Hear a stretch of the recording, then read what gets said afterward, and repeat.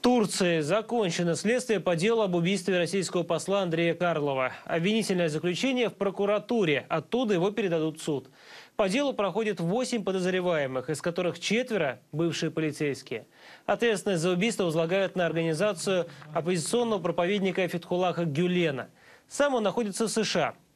Напомню, Андрея Карлова убили в декабре 2016 года на открытии выставки в Анкаре. Посмертно дипломату присвоено звание Героя России – ну а полицейского, который открыл огонь, охрана ликвидировала.